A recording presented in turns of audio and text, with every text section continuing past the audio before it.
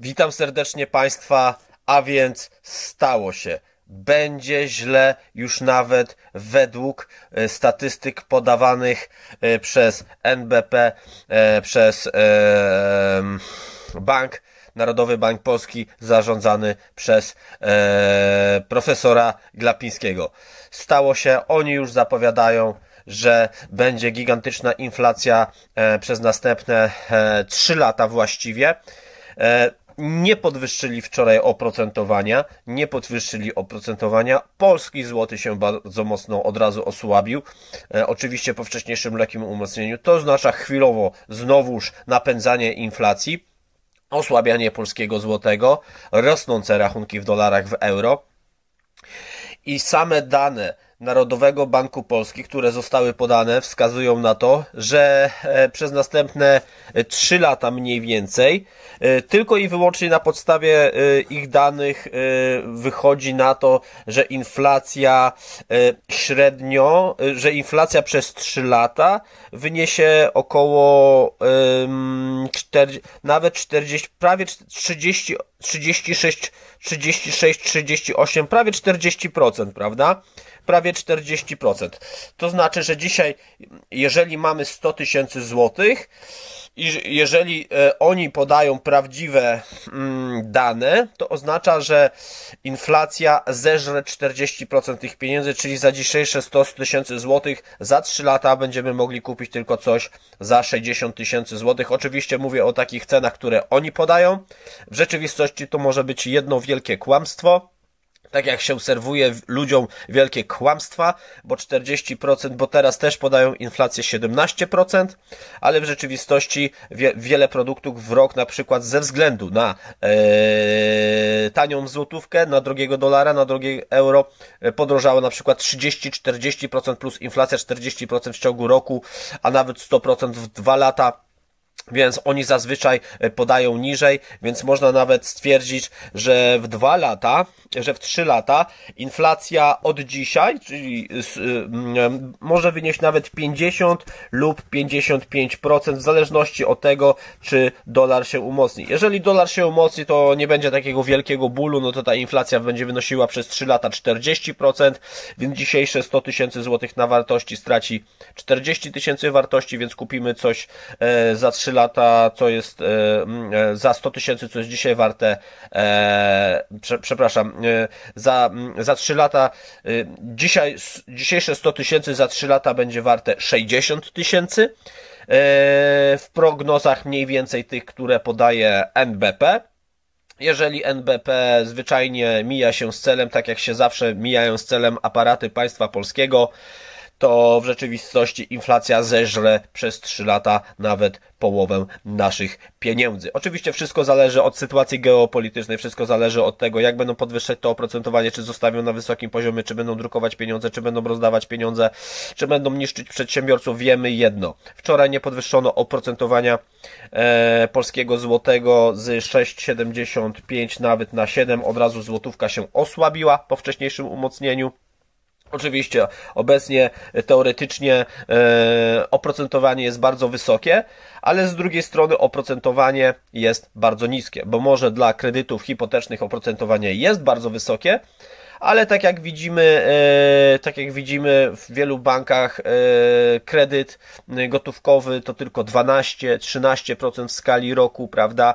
No, no można już dostać kredyty, pożyczki, kredyty gotówkowe na 12%. A co to oznacza? Ano to, że bardzo dużo ludzi po prostu dalej bierze kredyty, bo dla człowieka, który zaciąga kredyt gotówkowy, w rzeczywistości to nie ma większego znaczenia E, czy on zaciągnie e, kredyt 200 e, tysięcy złotych na 8% i w skali roku zapłaci na przykład te 16 tysięcy odsetek, prawda? Bo 8% od 200 tysięcy to jest 16 tysięcy odsetek miesięcznie, czy on zapłaci 12% i 24 tysiące. Dla wielu ludzi to nie ma znaczenia, jeżeli na przykład mamy biznes, to jeżeli zaciągamy 200 tysięcy złotych kredytu i w rok musimy tych odsetek oddać tylko 16 tysięcy, a na przykład z tych 200 tysięcy możemy zrobić 300 tysięcy, no to 100 tysięcy, no to pozostaje nam i zrobimy zysk z tych 200 tysięcy, to pozostaje nam 100 tysięcy, prawda? Minus te 16 tysięcy to jest 84 tysiące zysku, minus oczywiście podatki i tak dalej, i tak dalej ale w sytuacji, w której jest oprocentowanie 12%, tak jak dzisiaj mamy wiele kredytów gotówkowych oprocentowanych, właściwie masę bez problemu można dostać na 12%, 12 z hakiem no to te kredyty są właściwie bardzo nisko oprocentowane w stosunku do inflacji i sytuacji na rynku. To oznacza, że łatwo dalej ludzie po prostu się kredytują, biorą kredyty i będą brać kredyty, przez to będą niszczyć wartość polskiego złotego, przez to będą niszczyć wartość pieniądza, przez to będą podbijać inflację ze względu na to, że yy, biorąc kredyt, kreujemy pusty pieniądz. Jak kreujemy pusty pieniądz, to tworzymy inflację. Jak tworzymy inflację, no to są droższe ceny, emeryci są niszczeni, ich emerytury są niszczone w rzeczywistości Polacy obecnie są strasznie niszczeni ze względu między innymi też na tanie kredyty, bo jeżeli można wziąć kredyt mniejszy niż inflacja, to to wtedy potęgujemy tą inflację, prawda? Tak więc jeżeli ktoś sobie zaciągnie na 12% taki kredyt na 200 tysięcy złotych, no to zapłaci 24 tysiące odsetek rocznie. Jeżeli zarobi z 200 tysięcy 100 tysięcy, czyli e, wzbije 300 tysięcy, tak, no to zysku będzie mieć 76 tysięcy, oczywiście minus podatki, minus koszty. Mm, no to jeżeli ktoś miał kiedyś e, na czysto 50 e, tysięcy zainwestowanych 200 tysięcy, no to dzisiaj będzie mieć na przykład te 40 e, tysięcy, prawda? Więc to nie jest big deal. Dalej opłaca się zaciągać kredyty, dalej opłaca się masowo e, brać kredyty, dalej opłaca się e, płacić te odsetki, bo one są po prostu niższe do sytuacji na rynku, ze względu na to, że na rynku wszystko jest po prostu drogie. Wszystko jest po prostu drogie, a dalsze rozdawanie kredytu za kredytowywanie Polaków oznacza rozmydlanie polskiego złotego i problemy z utrzymaniem jego wartości. Oczywiście polska złotówka jest umocniona prawie najmocniej, przepraszam, oprocentowana prawie na, najmocniej w Europie, ale z drugiej strony inflację też mamy prawie najwyższą e, w Europie. Zanim przejdę dalej, bardzo proszę Państwa o subskrybowanie kanału na YouTube. Bardzo dużo ludzi ogląda, ale bardzo mało subskrybuje. Także dzwoneczek można kliknąć, będzie się otrzymywało powiadomienia o najnowszych produkcjach. Można zostawić komentarz, będę bardzo wdzięczny. Łapkę w górę, będę bardzo wdzięczny. Państwu zabierze to dwie sekundy, a mi naprawdę pomoże. W takim razie przechodzę dalej, e, tylko wezmę jeszcze łyka kawy.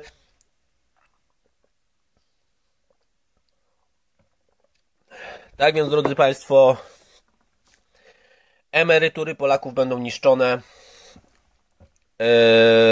Rozsądni Polacy będą niszczeni.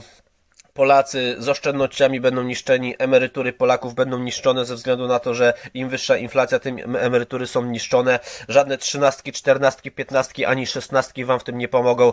E, Prawo i Sprawiedliwość, e, przepraszam, obecnie rządząca partia w rzeczywistości mm, już nie jest partią emerytów ze względu na to, że emerytury Polaków e, już dawno są drastycznie niszczone od dwóch lat, a teraz przez trzy lata w ogóle zostaną zniszczone, a to wszystko ze względu na to, że po prostu są tanie kredyty, prawda? Bo jeżeli emeryt ma emeryturkę 1700 zł, prawda? Jeżeli wezmę takie proste liczby. Jeżeli emeryt ma emeryturę 2000 zł netto, prawda? Miesięcznie, tak? 2000 zł netto miesięcznie.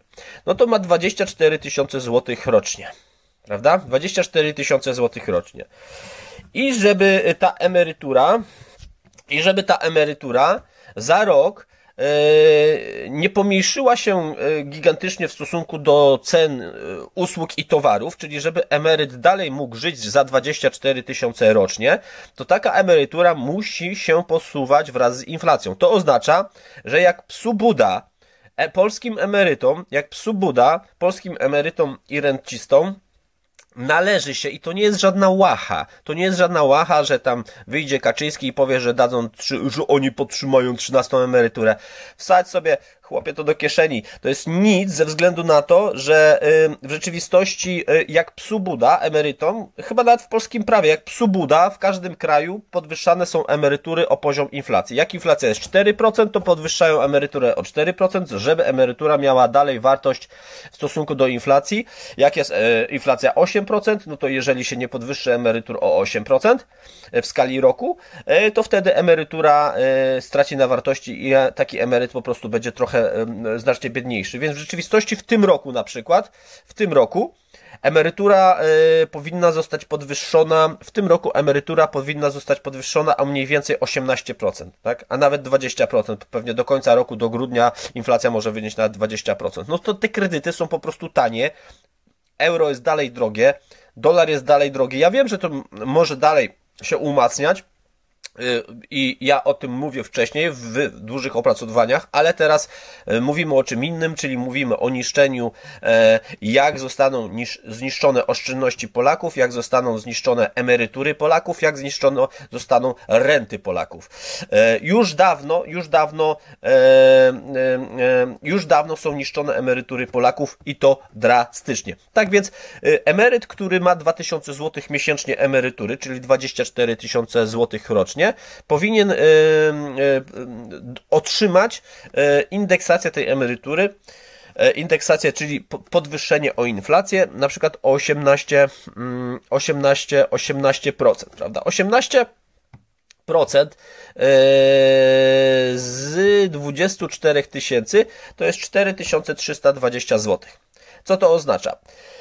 Że taki emeryt na przykład od stycznia od stycznia, właściwie wiecie, ta, teoretycznie to te emerytury powinny być y, podwyższane y, właściwie każdego miesiąca, można powiedzieć, o inflacji. A jak inflacja spada, to może nawet i powinny być obniżane, prawda? Jeżeli podwyższamy jak, e, jeżeli podwyższamy jak e, emeryturę o 10%, jak jest 10% inflacja, no to powinniśmy podwyższyć. Ale jeżeli w danym momencie na przykład będzie minus 10%, czyli e, e, ceny spadną minus 10%, no to emerytura z powrotem powinna zostać obniżona na minus 10, prawda? Prawda?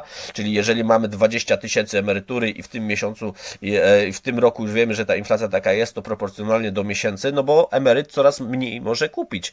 Coraz mniej może kupić, prawda? Coraz mniej może kupić. To powinna być podwyższona. No to, to by było w rzeczywistości najbardziej, że tak powiem, sprawiedliwe. No ale wiadomo, że e, no, nikt tego nie zrobi, bo nie ma sprawiedliwości, bo jeżeli e, w rzeczywistości, tak jak dostajemy odsetki, no to e, z banku, to najlepiej, żebyśmy te odsetki dostawali co miesiąc, prawda, po kawałku, ze względu na to, że e, jak dostaniemy na, rok, na koniec roku, to te odsetki już będą znacznie mniej warte e, niż na przykład jakbyśmy po kawałku dostawali co miesiąc, ze względu na to, że jednak te ceny rosną, prawda? Ta, tak działa inflacja w rzeczywistości. Tak naprawdę to jest to, o czym ja piszę od, e, mówię od 15 lat, od 10 lat namiętnie piszę, że w rzeczywistości Polacy tracą miliardy, miliardy, dziesiątki miliardów, biednieją z roku na rok. Rzeczy, w rzeczywistości, bo nie rozum, bo nie inwestują swojego pieniądza i myślą, że y, na przykład jeżeli przyjdzie taka partia i ona powie, że da komuś 15 emeryturę, to że taka osoba dostała w rzeczywistości, no nie wiem, jakiś prezent, czy nie wiadomo co, a w rzeczywistości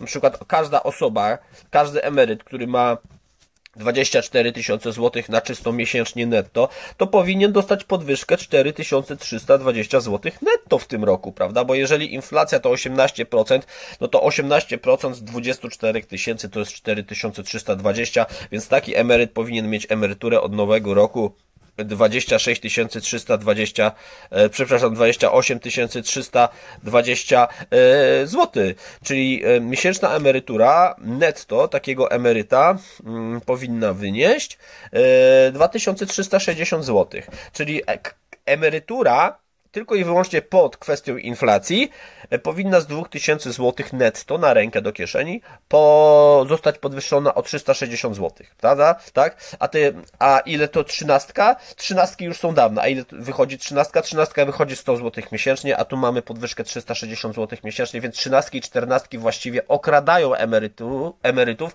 są kłamstwem, są jednym wielkim obłudnym kłamstwem, bo żeby, yy, żeby dać, żeby dodatkowa jakaś tam szesnastka czy osiemnastka miała jakiekolwiek yy, znaczenie w stosunku do inflacji, do inflacji e, emerytury, to właściwie w tym roku to taki emeryt, który ma emerytury 2000 zł, to powinien dostać, bo 13, 14 już jest dawno, no to powinien dostać 15, 16 i 17 jeszcze, prawda? I 18 w rzeczywistości, tak? Powinien dostać 8, 6 dodatkowych tych minimalnych emerytur, bo ta minimalna emerytura to jest e, tam 1300 zł, czyli tam 120 zł miesięcznie, prawda? Licząc na każdy rok i to jest jedno wielkie kłamstwo. Emeryt, który ma emeryturę 3000 zł, prawda? To, to jest 3000 razy 30 y, razy 12, 3000 zł netto razy 12, to jest 36 tysięcy, 36 tysięcy e, razy 18%, no to emeryt, który ma dzisiaj emerytury 3000 zł miesięcznie, powinien dostać rewaloryzację w tym roku 6,5 tysiąca złotych. Czyli osoba, która ma 36 tysięcy netto emerytury rocznie, powinna otrzymać rewaloryzację, czyli indeksację, czyli zwyżkę tej emerytury, jak psubuda, jak psubuda, bo taki jest wskaźnik inflacji o 6480 zł, czyli 6,5 tysiąca złotych. To znaczy, że y, y, każdy emeryt, który ma emerytury netto 3000 zł miesięcznie, powinien mieć 32 tysiące i pół 32,5 tysiąca złotych emerytury od nowego roku, tak? Nie 36, a 32,5. 32,5 y, podzielić na E, przepraszam, przepraszam, e, 36, 42,5, przepraszam najmocniej, 30, emerytura netto 36 tysięcy w skali roku powinna zostać podwyższona do 42 500, a 42 tysiące, 42 500 podzielić e, na 12, to się równa 3541 e, zł, czyli emerytura każdego Polaka, który dostaje 3000 zł miesięcznie. Jeżeli masz emeryturę, jeżeli pan ma, czy pani emeryturę 3000 zł miesięcznie netto, to państwa emerytura powinna zostać podwyższona wraz z inflacją o 541 zł. Ale to nie jest tak, że wy dzięki temu będziecie mogli więcej kupić. Nie, bo jest inflacja i będziecie mogli kupić tyle samo, co na przykład na początku tego roku, prawda? Czyli i tak już tracicie, bo ta inflacja jest, ale jak wam, e, jak wam podwyższą o te 541 zł, to emerytura po prostu zachowa wartość. Tylko i wyłącznie. Tylko i wyłącznie wartość. Wartość. Wartość tylko i wyłącznie zachowa, tak? A co to oznacza? To oznacza, że emerytury Polaków zostaną zniszczone totalnie przez następne 3 lata. Przepraszam, wezmę łyka kawy właściwie już są zniszczone ze względu na to, że one nie idą wraz z inflacją a mo może i pójdą wraz z inflacją, ale jeżeli nie idą wraz z inflacją, to oznacza, że są zniszczone. E, a dlaczego to się dzieje? Bo jeżeli mamy na przykład w jednym gospodarstwie domowym dwóch emerytów i dwóch emerytów dostaje e, po 2000 zł emerytury, czyli razem mają 4000 zł emerytury, a obok na przykład mieszka e, z jednej strony mieszka jedna rodzina i z drugiej strony mieszka druga rodzina. Oni mają wystarczająco, załóżmy, pieniędzy ze swojej pracy, ze swojej pracy, aby żyć. Ale ze względu na to, że są rozrzutnymi na przykład ludźmi, albo ich nie obchodzi, to nie mają ani oszczędności, mają dom na kredyt, prawda? No, bo, bo inaczej generalnie się nie da kupić domu na kredyt, ale generalnie mają bardzo dobrze spłacony już ten kredyt i wcale te raty nie są wyższe, a ze względu na to, że my Polacy jeste, w dużej części jesteśmy rozrzutni, prawda? No to w takim razie bardzo tanio teraz wziąć kredyt, no i na przykład przykład taka osoba może wziąć kredyt na 12%, no to mogą sobie wziąć te 200 tysięcy na, na ten kredyt. Jedni wezmą 200 tysięcy i drudzy wezmą 200 tysięcy i dzięki temu wprowadzają do gospodarki dodatkowy pieniądz, a dodatkowy pieniądz rozwadnia pieniądz, y, podwyższa ceny, prawda? I w tym momencie tak, y, ta rodzina, która obok miała 7 tysięcy złotych dochody, to w rzeczywistości po, wzięcie, po wzięciu kredytów mają 15 tysięcy złotych dochodu.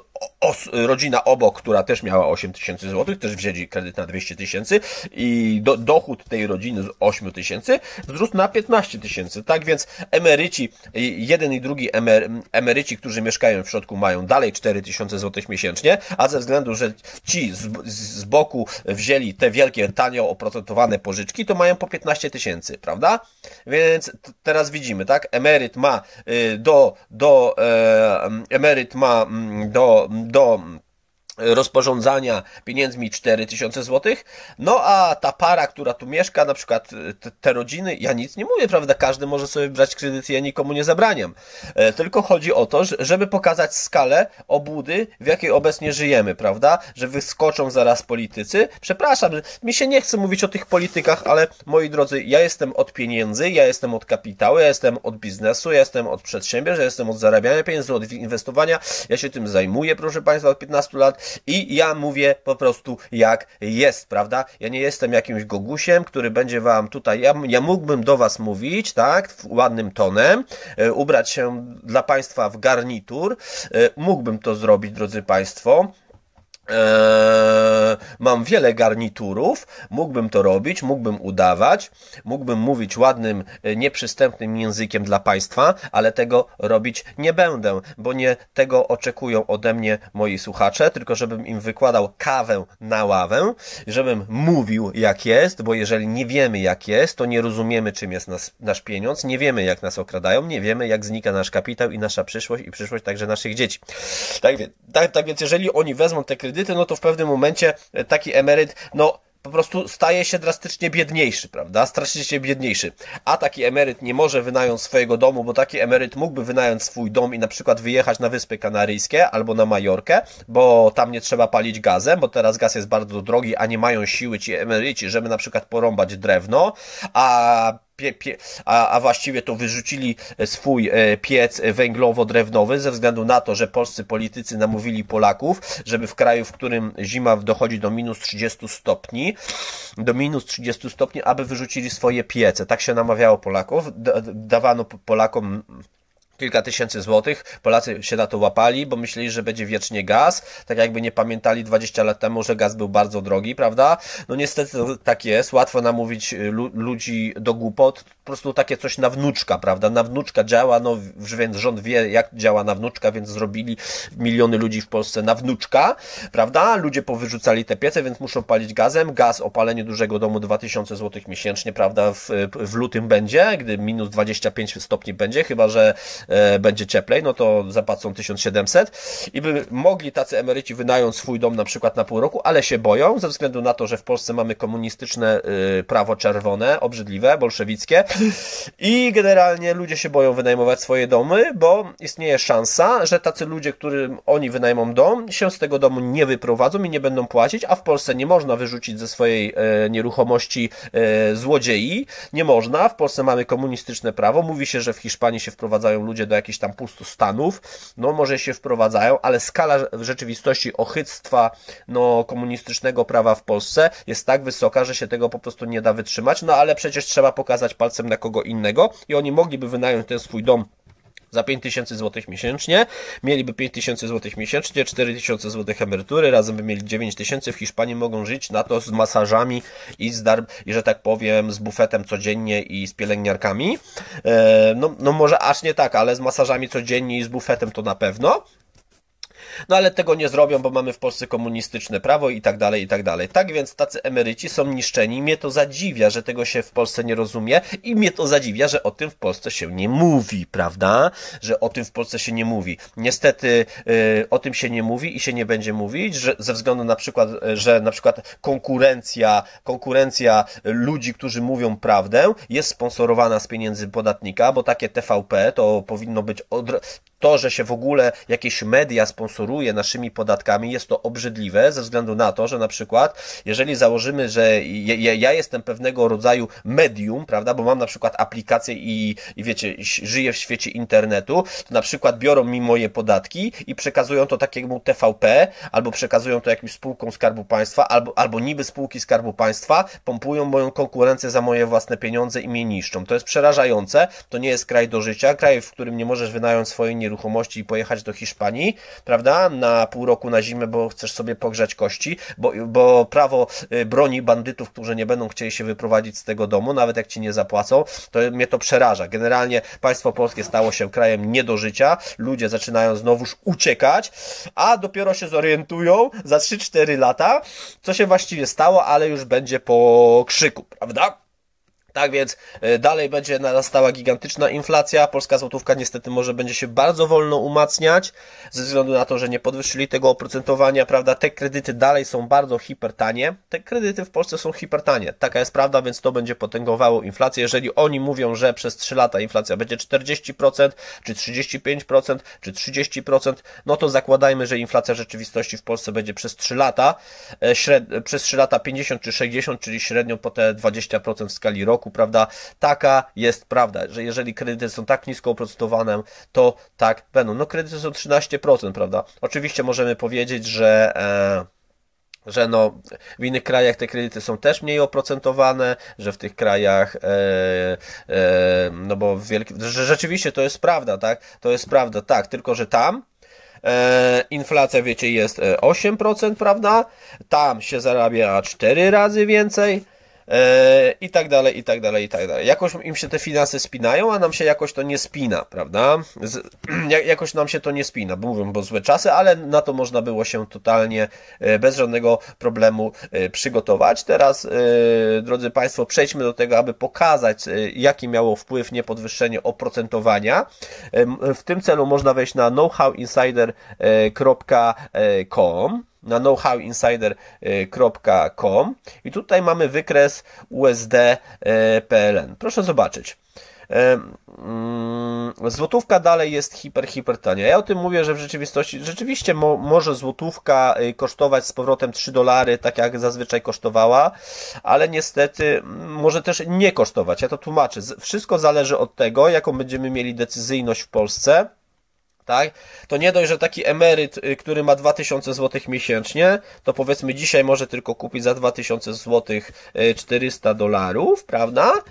Y, mniej więcej, prawda? No tam z kawałkiem, ale jak zaraz złotówka się osłabi, to będzie mieć no, 420 dolarów, może 400 y, tam 20 no, no, no te 400 dolarów, gdy dolar kosztuje 5 zł, prawda? Jeżeli się zaraz złotówka osłabi, ja wcześniej pokazywałem, że ona się prawdopodobnie umocni, jeżeli będą dobre decyzje, prawda? To wszystko zależy od tego, co tam widział Glapiński, ale jedno jest pewne, Glapiński e, pokazał, że inflacja będzie gigantyczna, a jak oni pokazują dużo, no to będzie jeszcze większa, prawda?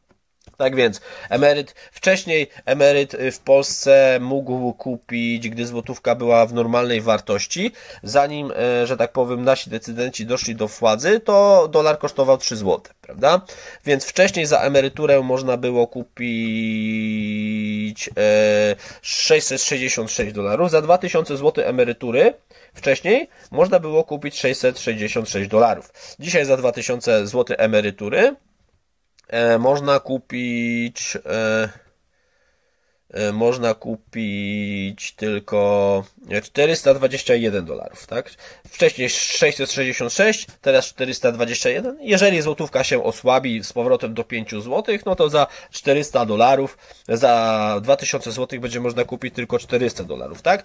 Czyli e, taki człowiek, który chce wyjechać e, za emeryt za granicę, na przykład na wakacje, no to wcześniej mógł za 2000 kupić 666 dolarów, a teraz może kupić tylko 400 dolarów. Wszystko przez rozwadnianie złotówki, przez niszczenie jej wartości. Jednak do tego trzeba y, dodać tak naprawdę gigantyczną w Polsce inflację, to nie dość, że, e, że emeryt już nie może kupić 666 dolarów za 2000 zł emerytury, a może kupić tylko 400 lub 420 dolarów za swoją emeryturę 2000 zł, to dodatkowo ta emerytura jest dojeżdżana na rynku lokalnym. Ze względu na to, że, że emerytura e, 2000 zł powinna zostać podwyższona o inflację o 360 zł i to jest jak psubuda, tak? Jak psubuda to się po prostu prostu należy, to jest indeksacja, koniec kropka, taka jest inflacja i o tyle powinni podwyższyć, prawda?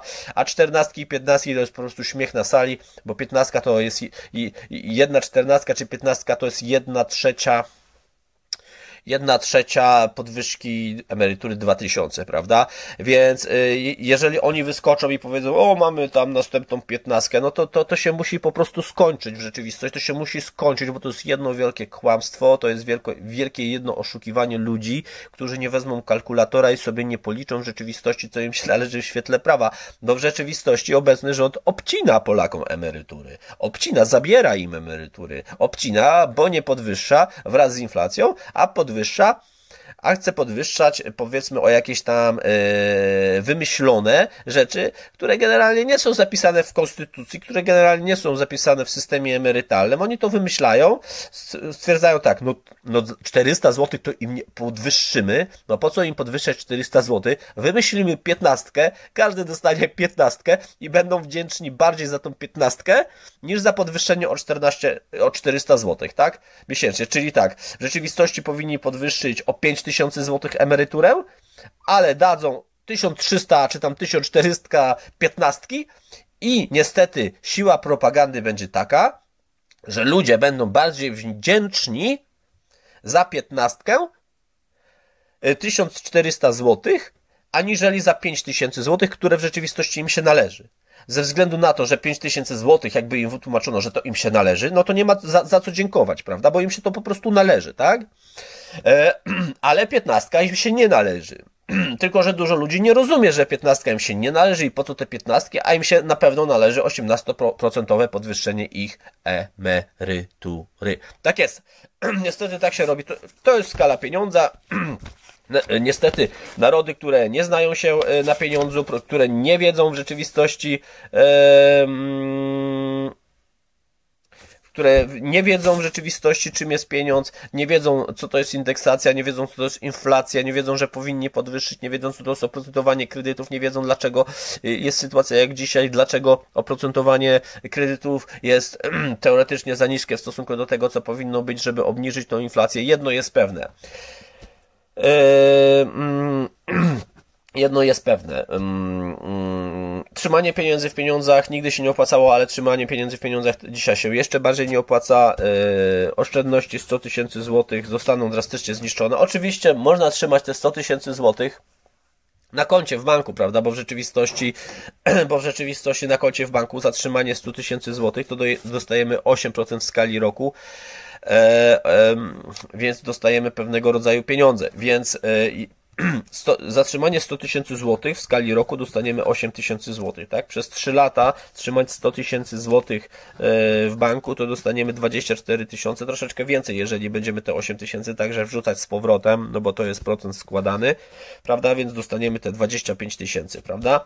Zatrzymanie 100 tysięcy w banku dostaniemy 25 tysięcy, ale inflacja będzie 60%, więc, rzeczywist więc w rzeczywistości, mimo to, żeby za 3 lata zatrzymanie 100 tysięcy złotych w banku polskim, e, dostaniemy, będziemy mieli 125 tysięcy w 3 lata, ale inflacja to będzie minus 60%, tak? Czyli 125 tysięcy minus 60%. Eee, to i tak i tak, mimo to, że ze 100 tysięcy zrobi się nam 100 tysięcy, 125 tysięcy, a jeżeli inflacja będzie 60%, to i tak te 125 e, tysięcy, e, no, teoretycznie będzie warte jak mniej więcej 50 tysięcy, prawda? Dzisiaj, prawda? Bo jeżeli mm, albo w ten sposób e, to wytłumaczę. Dzisiaj, dzisiejsze 100 tysięcy żeby nadążyć z 60% inflacją przez 3 lata, musiałoby być warte 160 e, tysięcy, znaczy musiało, musi, ze 100 tysięcy w 3 lata musielibyśmy zrobić 160 tysięcy, prawda? E, jeżeli zrobimy 125 tysięcy, jeżeli zrobimy tylko 125 tysięcy, no to dalej jest za mało o 35 tysięcy, prawda? Więc mimo to, mimo to te, o te 35 tysięcy w tej skali te pieniądze stracą na wartości. Oczywiście obecnie pieniądze w pieniądzach bardziej się opłaca trzymać ze względu na to, że jeżeli konto jest oprocentowane 8% e, i trzymamy milion złotych na koncie na 8%, to i tak e, nigdzie tyle nie dostaniemy. E, oczywiście można ryzykować w giełdę, ale w rzeczywistości, jeżeli ktoś by kupił dzisiaj na przykład dom za milion złotych, no to jest totalna bzdura, bo dom za milion złotych, góra wynajmiemy obecnie, bo ludzie nie mają pieniędzy, ludzie uciekają z Polski, góra wynajmiemy za 5 tysięcy złotych, a to oznacza, że 5 tysięcy złotych minus podatek, minus e, bieganie za najemcami, minus tam remonty, to, to, to, to, to 5 tysięcy złotych to zostanie 3 tysiące złotych.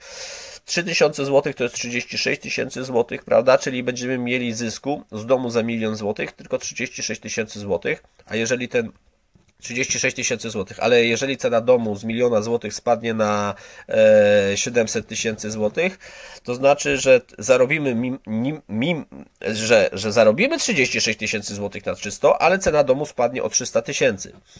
Tak, czyli jesteśmy do tyłu o 264 tysiące złotych, do tyłu.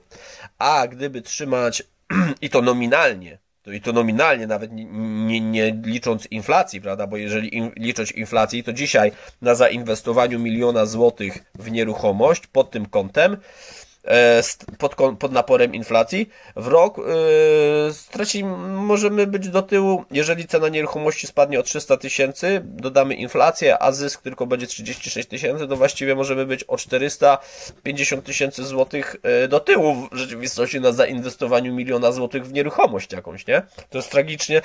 Ludzie w to nie wierzą dalej, ale tak jest, bo ceny nieruchomości są po prostu za drogie. Ceny nieruchomości w Polsce powinny spaść, wiecie, jutro 40-50 50% w rzeczywistości, żeby one były właściwie jakkolwiek osiągalne. Ale jeżeli będziemy taki milion złotych trzymać na koncie bankowym, to na, nie dość, że ten milion złotych nam y, nominalnie nie spadnie, prawda, to dostaniemy 80 tysięcy. Czyli, czyli co dostaniemy? Będziemy mieli dalej milion złotych, a jak zainwest... na koncie bankowym, a jak zainwestujemy w nieruchomość, to ta nieruchomość może spaść 40% i będziemy y, mieli tylko 600 tysięcy złotych, ale dodatkowo dostaniemy 80 tysięcy złotych w skali roku za trzymanie miliona złotych, a 80 tysięcy w skali roku podzielić na 12 to jest 6666 złotych na czysto, wyobrażacie sobie? 6660 złotych na czysto i dalej mamy milion złotych dodatkowo, tak?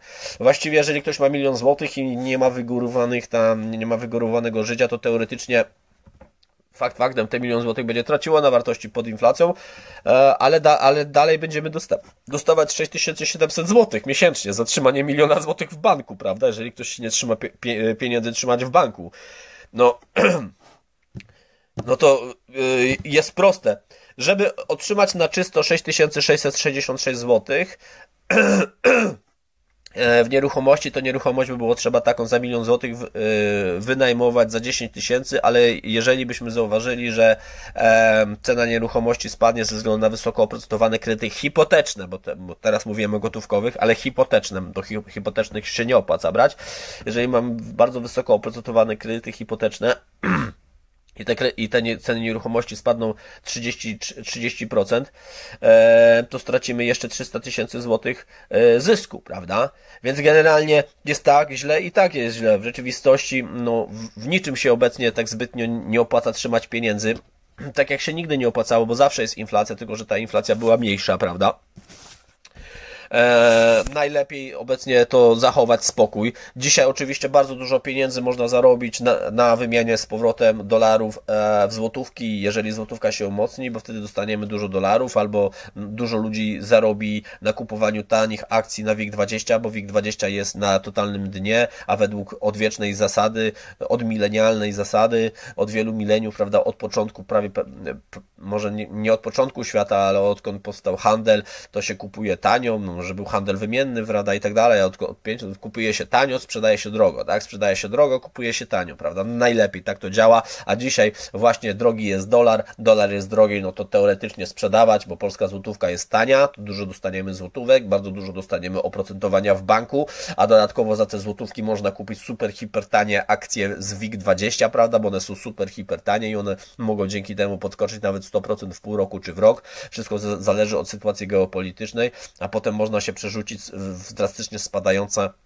ceny nieruchomości, bo wiadomo, że teraz kapitał to ewentualnie idzie w walutę, prawda? Następnie będziesz już zaczyna iść w e, giełdę, może będzie jakiś przestój, ale giełda jest tania, no to będzie szedł w giełdę. Nie wiadomo co lepsze, waluta, giełda, prawda? Wysokie oprocentowanie dalej jest, więc dalej się opłaca trzymać w złotówce, a złotówkę opłaca się kupować, bo złotówka jest tania, a nieruchomości po prostu się nie opłacają, bo jeżeli za pieniądze trzymane w złotówkach dostajemy kupę kasy, a za pieniądze trzymane w, w, nieruchomości dostajemy mało pieniędzy, chyba że wynajmujemy na pokoje, czy wynajmujemy jako apartament, wiecie, turystyczny i tak dalej, jedziemy z tematem, mamy dużą firmę, to co innego może, tak?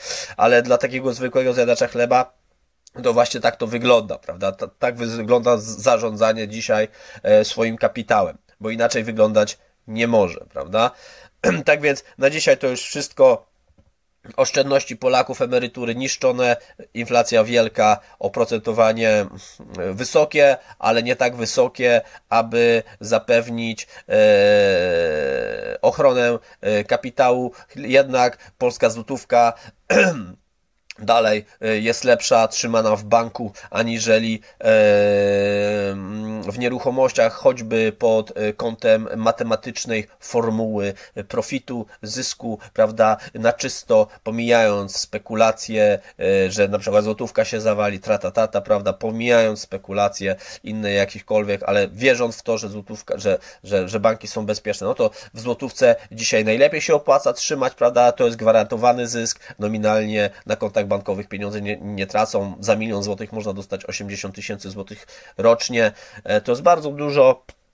E, oczywiście może być tak, że jeszcze podwyższą to oprocentowanie w przyszłości, więc e, istnieje szansa, że e, trzymane pieniądze już w złotówkach będą drożeć, prawda? A dodatkowo złotówka jest tania, więc jeżeli się umocni e, do 3 złotych, no to wtedy za, e, że tak powiem, mm, e, dzisiaj sprzedając dzisiaj 200 tysięcy dolarów na złotówki, na przykład po 5 złotych, to dostaniemy milion złotych, prawda?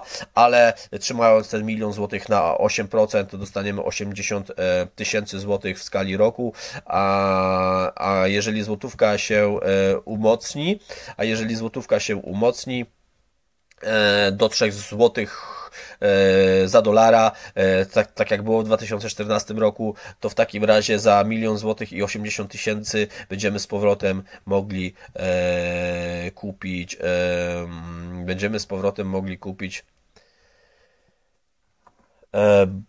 bagatela 360 tysięcy dolarów. No, okropny zysk. Okropnie duży zysk, prawda? Bo jeżeli, jeżeli mamy 200 tysięcy złotych, 200 tysięcy dolarów, kupujemy za 200 tysięcy dolarów, kupujemy za 200 tysięcy dolarów e, złotówek, mamy milion złotych, dostajemy e, 8%, 8% w banku, dostajemy 8% y, w banku, to mamy mil milion 80 tysięcy złotych.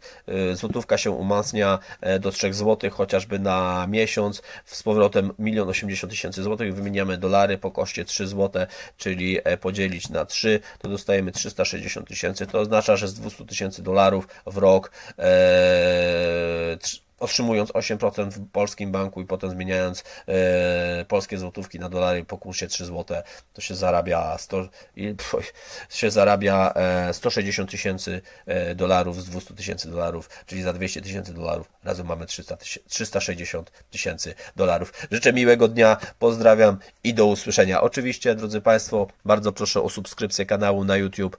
E, bardzo dużo ludzi ogląda, ale bardzo mało subskrybuje. Będę Państwu wdzięczny. Także kciuka w górę E, merytoryczny komentarz, a może nawet kliknięcie w dzwoneczek notyfikacyjny, aby otrzymywali Państwo powiadomienia o najnowszych materiałach. Pamiętajmy, jak nie zadbamy o swój kapitał, jak nie zadbamy o swoje pieniądze, jak nie zadbamy o swój biznes, o prawo, które nas niszczy, czy, czy, czy też nam pomaga, to nikt o to nie zadba. Życzę miłego dnia, pozdrawiam, do usłyszenia.